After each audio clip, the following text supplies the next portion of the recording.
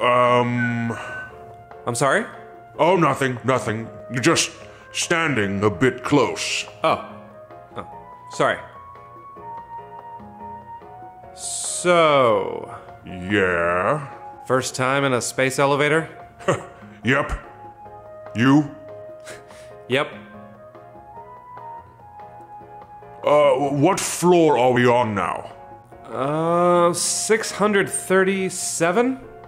So, what, like 3,825 more to go? Yeah.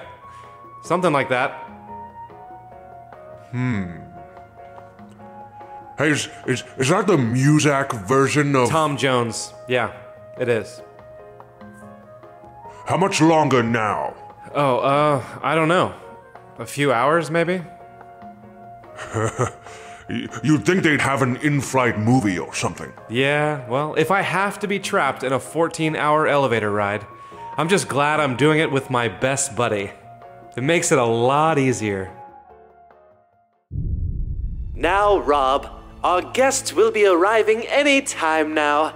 I know you're excited to greet them, but remember, it's our job to welcome them to Space Station Argonaut with grace and dignity.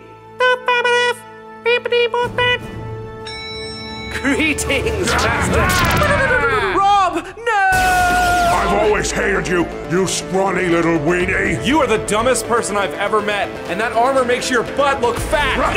Sis! Sis! Please! Sleep well, dear Rob, and dream of electric sheep, and know that you will be avenged, my friend. Oh, yes, you will be avenged.